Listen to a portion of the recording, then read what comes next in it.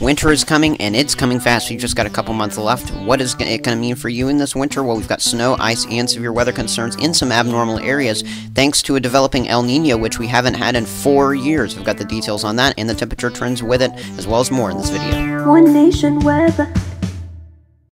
Alright, thank you so much for joining me here. El Nino is in place heading into winter for the first time in four years. That's according to NOAA, as the last event we had was going into 2019. Now, in terms of the normal El Nino influence, warmer than average air is expected as some ridging develops over the northwestern part of the country. Drier conditions into portions of the Ohio Valley with wetter and overall cooler conditions with an active subtropical jet across um, southern parts of the country. So let's go through my winter precipitation forecast.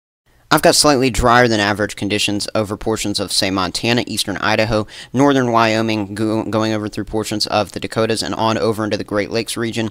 That's how we, as we'll have a little bit of ridging just to the north and west of that area and developing into that area, and that will kind of help to block out systems throughout the winter with not much in the way of polar jet stream dips moving through that area. Now, where it's expected to be above average in the precipitation department is along the west coast, portions of the southern tier of the country, and then along the east coast. So basically, if you're not in the north central tier, expect slightly or even more than slightly above average precipitation. As you can see, some of these zones and portions of Washington, Oregon, as well as California getting in on above average precipitation by a good bit in that area, I think, based on some of the past you know data that I've seen going all the way back into portions of the 1900s that's when we continually saw with strong El Nino events like we're seeing this winter precipitation above average especially in the parts of the Pacific Northwest. Now in terms of your precipitation the highest likelihood of above average precipitation in fact if not a guarantee for above average precipitation this comes into portions of Florida portions of South Georgia portions of the Carolinas. That's where it's really looking like this is going to be moving through along the Gulf and Southeast coast especially as we'll have low pressure systems that develop in the Gulf move northward and kind of ride up the east coast, and some of those will help to keep the precipitation at least a little bit above average with the northeasterly flow. And when those systems move through, that northeasterly flow, the wind coming in from the northeast, could certainly help to pull down some pull down some cooler air and provide the chance for at least a little bit more snowfall than usual up the east coast. Now with your winter temperature forecast, about the northern half of the country is expected to be at least slightly above average here. But what you're going to see in a minute is that many areas are going to be well above average, and that's what we typically see with El Nino. Anywhere from portions of Northern California, portions of Oregon and Washington, moving on over through the Dakotas, Minnesota, and then over into portions of the Great Lakes region.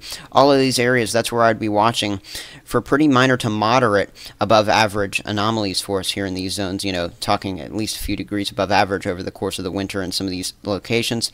And then where we're expected to be the highest chance, and if not the highest, you know amount above average that's where we're going to be talking about this well above average zone here in portions of Minnesota portions of Wisconsin moving on over into Michigan.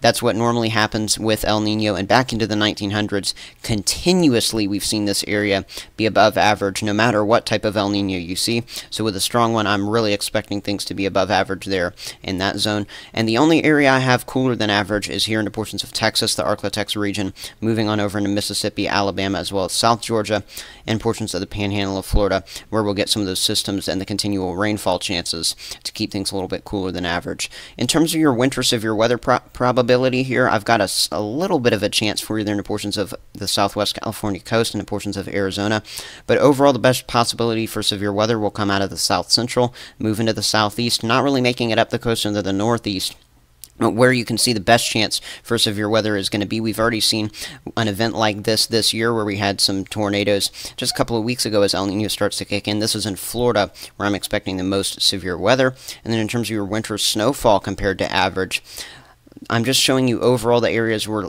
it's going to be likely less um, than normal and the areas where it's likely going to be more than normal. The four corners and into portions of the southern plains, that's where I'm expecting a pretty decent chance of more than normal in, in the snowfall department, whereas the northern tier, that's where it's going to be less likely to see snowfall.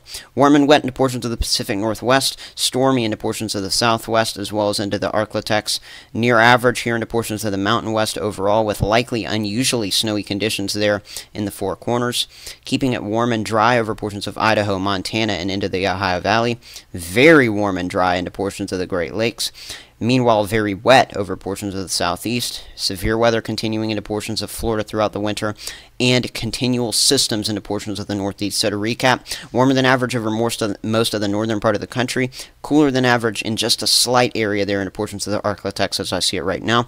What's going to be really big trend, though, is the fact that it's going to be very wet here in the southeast, and that's what we see with El Nino. Thank you so much for watching, everyone. Here are the credits. I also use noaaclimate.gov and some other sources. Thank you so much for watching, everyone. Please subscribe.